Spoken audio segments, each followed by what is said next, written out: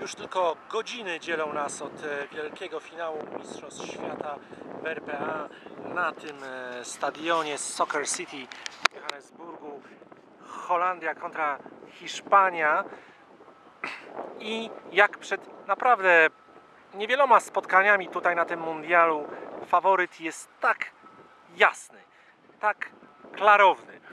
Nawet jeśli posłucha się większości hiszpańskich, nie, nie, nie hiszpańskich, holenderskich e, specjalistów, byłych wielkich e, zawodników i trenerów, takich jak e, Johan Cruyff, takich piłkarzy jak Clarence Seedorf, czy Ruud van Nistelrooy, czy, czy, czy Ronald Koeman, czy wreszcie jak mm, nasz były trener naszej reprezentacji Leo Benhaker.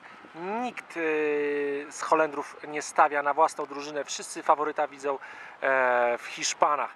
Ja sam, e, chociaż wydawało mi się, że Hiszpania nie gra tutaj mm, tak pięknie jak na Euro 2008 i wydawało mi się, że Niemcy są w stanie jej mm, zwycięstwo odebrać w półfinale, to jednak po tym co zobaczyłem, po tym, po takiej pewnej grze, tak pragmatycznej, tak, tak, tak, tak, tak, tak świetnej.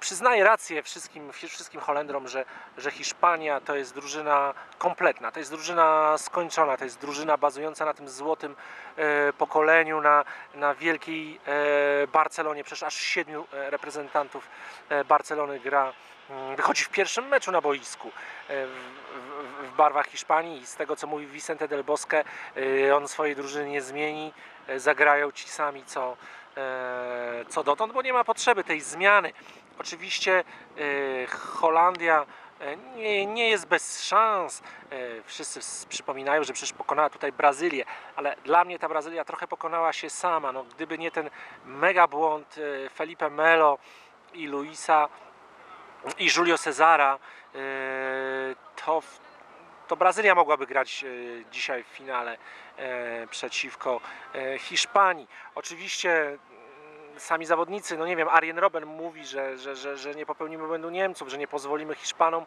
e, tak grać, nie damy im takiej wolności, za, zaatakujemy ich wysokim pressingiem, ale obawiam się, że to wszystko jest e, za mało. E, jeżeli prześledzić obie drużyny, przyjrzeć się im na papierze, to e, właściwie w każdej formacji Hiszpanii mają najlepszych piłkarzy świata, od bramkarza. Dla mnie Iker Casillas jest najlepszym bramkarzem tego mundialu.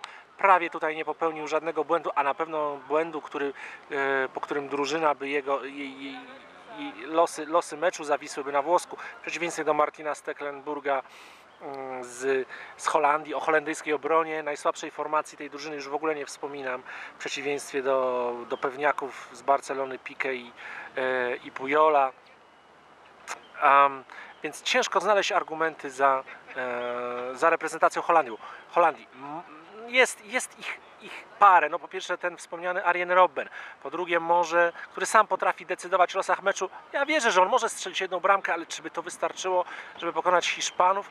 E, oczywiście jest też Wesley Snyder, też dla mnie faworyt do, e, do zostania piłkarzem turnieju, do zostania e, w ogóle piłkarzem roku na świecie, bez względu na wynik zresztą w finale, za to co już dokonał e, z Interem Mediolan. O, gdyby Holandia potrafiła zagrać tak jak Inter Mediolan z Barceloną, ale obawiam się, że no niestety różnica poziomów między obiema drużynami, pomijając już trenera na ławce, jest jednak, jednak jest e, zbyt wielka. Myślę, że to będzie trzeci nieudany finał e, dla Holandii, ale może nam się trafić naprawdę e, pasjonujące widowisko, ale tak jak kiedyś Gary Lineker mówił, że e, piłka nożna to prosta gra, tylko zawsze na końcu wygrywają Niemcy.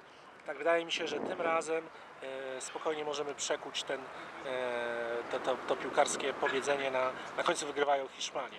Wydaje mi, się, wydaje mi się, że no nie ma szans, żeby wynik był inny i na końcu e, piłkarze Vincente del Bosque uniosą, w górę ten wymarzony Puchar Świata.